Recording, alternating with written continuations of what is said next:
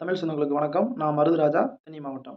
இப்போ நம்ம இந்த காணொலியில் என்ன பார்க்க போகிறோம் அப்படின்னா சோப்பு பண்ணுறதுக்கு வந்து எந்த அச்சு நல்லா இருக்கும்? சிலிக்கான் அச்சா இல்லை பிளாஸ்டிக் அச்சா அப்படின்றதாங்க பார்க்க போகிறோம் வாங்க காணொலியை முழுசாக பார்க்கலாம். இப்போ நம்ம பிளாஸ்டிக் அச்சில் வந்து சோப்பு கலையை வந்து ஊற்றி பார்ப்போம். எப்படி வருதுன்னு பார்த்துருவோங்க. அதுக்கு முன்னாடி நம்ம தட்டு அச்சு இந்த ரெண்டுலேயும் நல்லா தேங்காய் வந்து தேய்ச்சி வச்சுக்கோங்க. ஏன் அப்படின்னா எடுக்கும்போது ஈஸியாக இருக்கும். அதனாலங்க.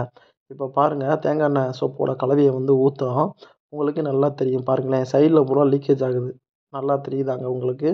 அப்போ நீங்கள் மூணு சோப்பு பண்ணணும் அப்படின்னா நீங்கள் மூன்று சோப்புக்கு உண்டான கலவையை வந்து இதில் ஊற்றணுங்க ஏன் அப்படின்னா சைடில் வந்து லீக்கேஜ் ஆயிரும். அந்த லீக்கேஜ் ஆன சோப்புகளை வந்து நம்ம பயன்படுத்த முடியாது. அதனால தான் வந்து நம்ம மூன்று சோப்புக்கு உண்டான கலவையை வந்து இதில் ஊற்றி ஆகணுங்க. இந்த அச்சில் வந்து இது தாங்க ஒரு மிகப்பெரிய ஒரு மைனஸு உங்களுக்கே நல்லா தெரியுதுங்களா? சைடில் பூரா லீக்கேஜ் ஆகுது. நீங்கள் நினைக்கலாம் இந்த தட்டுனால தான் லீக்கேஜ் ஆகுது அப்படின்னு. நாங்கள் ட்ரெயிலையை வச்சு பார்த்துட்டேங்க. அப்படி அப்பயும் இப்போ தான் இப்படி தாங்க லீக்கேஜ் ஆகுது. நீங்கள் எவ்வளோ நல்ல ஒரு சமதள பரப்பில் வச்சாலும் இது லீக்கேஜ் ஆகத்தாங்க செய்யும். இப்போ நம்ம சோப்பை ஊற்றி வச்சு இருபத்தி நாலு மணி நேரம் ஆயிடுச்சுங்க. இப்போ வந்து சோப்பை வந்து எடுக்கிறப்ப பார்ப்போம். உங்களுக்கே நல்லா தெரியுதாங்க. அந்த சோப்போட அச் கலவை பூராமே வந்து சைடில் லீக்கேஜ் ஆகி அது ஒரு சோப்பு மாதிரி படிவத்தில் வந்து நிற்கிது பார்த்தீங்களா இந்த சோப்பு தாங்க நமக்கு புறமே வேஸ்ட் ஆயிரும். அதே சமயம் இந்த அச்சுக்களில் வந்து அந்த அச்சுலேருந்து எடுக்கும்போது வந்து ரொம்ப கஷ்டமாக இருக்குங்க.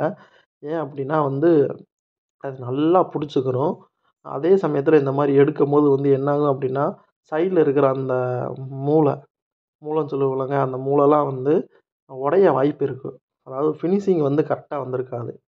இது நம்ம வீட்டுக்கு பயன்படுத்தும் போது எந்த பிரச்சனையும் இல்லைங்க. சப்போஸ் நீங்கள் சேல் பண்ணுறீங்க அப்படின்னா இந்த மாதிரி மூடில் பண்ணோம் அப்படின்னா சக்ஸஸ் இல்லைங்க. இதில் வந்து இந்த ரெண்டு பிரச்சனைங்க ஒன்று லீக்கேஜ் ஆகும் இன்னொன்று வந்து மோல்டில் இருந்து வெளியே எடுக்கும்போது வந்து ரொம்ப கஷ்டப்படணுங்க. இப்போ பாருங்கள் எடுத்து முடிச்ச முன்னாடியே உங்களுக்கே தெரியுதாங்க இந்த சோப்பு பூராமே வேஸ்ட்டு தாங்க நமக்கு. இதுதாங்க இதில் உள்ள பிரச்சனை. இப்போ நம்ம சிலிக்கான் அச்சில் ஊற்றுற சோப்பை வந்து பார்த்துருவோங்க வாங்க. இந்த மாதிரி முறையில் தாங்க சிலிக்கான் அச்சில் வந்து சோப்பு ஊற்றணும் ஆனால் சோப்பு கலவை ஊற்றுறதுக்கு முன்னாடி சிலிக்கான் அச்சில் தேங்காய் எண்ணெயை வந்து நல்லா வந்து தடவி வச்சுக்கோங்க. ஏன் அப்படின்னா வந்து எடுக்கும்போது வந்து ரொம்ப கஷ்டம் இல்லாமல் எளிமையாக இருக்கணும். அதனால தாங்க தேங்காய் எண்ணெயை வந்து த ஊற்றி தடவிட்டு அதுக்கு முன்னாடி தாங்க இந்த சோப்பு கலவை வந்து ஊற்றணும் இந்த சோப்பில் பாருங்கள் இதுக்குன்னு தனியாக ட்ரே தேவையில்ல தட்டு தேவையில்ல எதுவுமே தேவையில்ல. இந்த சோப்பில் வந்து அப்படியே ஒரு இட்லி குழியில் இல்லைன்னா ஒரு பணியார குழியில் வந்து ஊற்றுற மாதிரி ஊற்றி வைக்கலாங்க. இதில் வந்து ஃபினிஷிங் நல்லா இருக்கும். எடுக்க வந்து ரொம்ப ஈஸியாக இருக்குங்க. இதுதாங்க இதில் ஒரு நமக்கு ஒரு அட்வான்டேஜு நல்லது. இதில் வந்து வேஸ்ட்டு அப்படின்றது வந்து சுத்தமாகவே ஆகாதுங்க. எல்லாமே நமக்கு சோப்பாக தான் கிடைக்கும். இதில் கழிவுகள்ன்றது என்பது சுத்தமாகவே கிடையாது. இது தாங்க பிளாஸ்டிக் அச்சுக்கும் சிலிக்கான் அச்சுக்கும் உள்ள வித்தியாசம். இப்போ நம்ம சிலிக்கான் மூடில் சோப்பு கலவையை ஊற்றி வச்சு இருபத்தி நாலு மணி நேரம் கழித்து எடுக்கிறேங்க. பாருங்கள் எவ்வளோ அழகாக வருது அப்படின்னு. எந்த ஒரு கஷ்டமும் இல்லைங்க. அதே மாதிரி அந்த சேப்பு ரொம்ப சூப்பராக வருது பார்த்தீங்களா மூளை முடுக்கு இதெல்லாம் எதுவுமே உடையாமல் நல்ல ஒரு ஃபினிஷிங்கில் கிடைக்கிது பார்த்தீங்களா இது தாங்க சிலிக்கான் மோல்டில் உள்ள நமக்கு ஒரு நல்ல விஷயம்.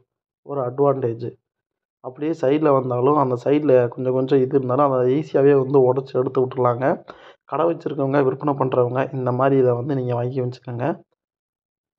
ரொம்ப நன்றிங்க இந்த வாய்ப்பு கொடுத்த உங்களுக்கு.